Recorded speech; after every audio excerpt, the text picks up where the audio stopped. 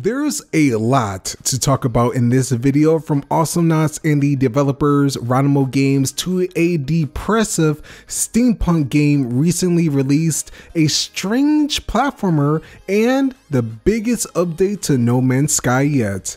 Are you ready everyone? Now that's gaming.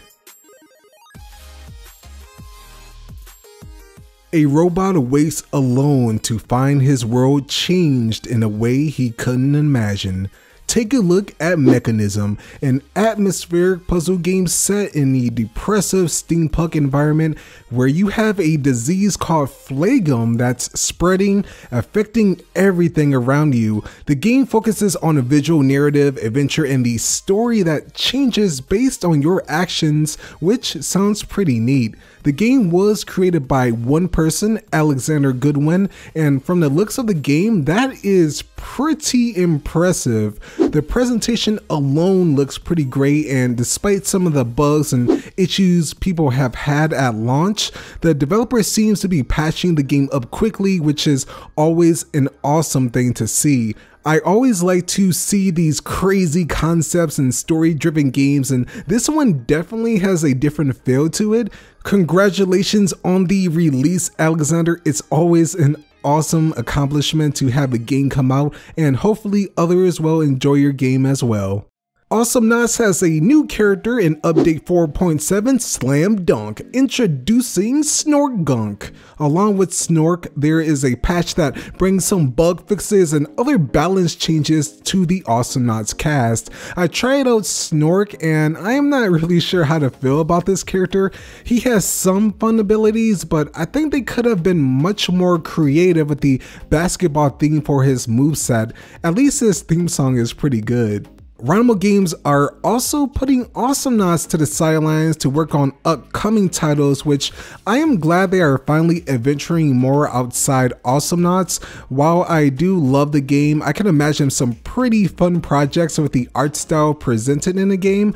I am very curious to see what types of games they have in mind, but I guess we'll have to wait and see. I really wish you the best of luck, Ronimo. You got this. I am happy to announce that Escape Doodland will be releasing sometime in August after three years of hard work, which is crazy. This is a fast-paced 2D platformer where you are in this crazy world full of weird doodle drawings. It's visually pleasing and something I've never seen before, especially in a platforming game.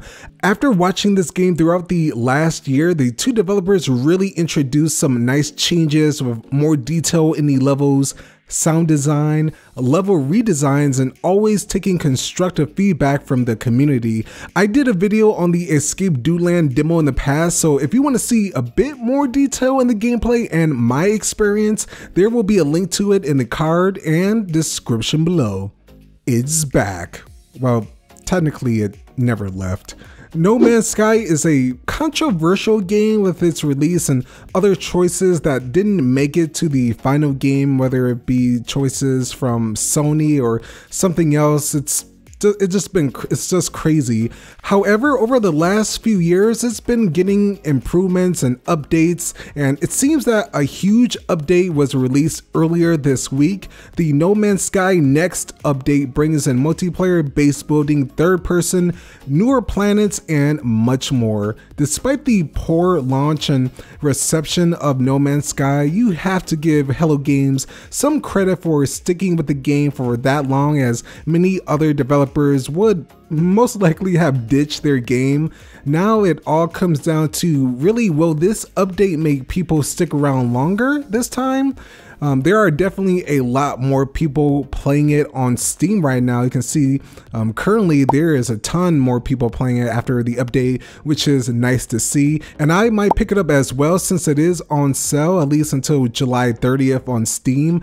I'll put the patch notes in the description to the latest update for you to check out to decide if this update changes your mind on the game. With this newest update to No Man's Sky, will you be picking up the game or pass on it still? Let me know your thoughts in the comments below.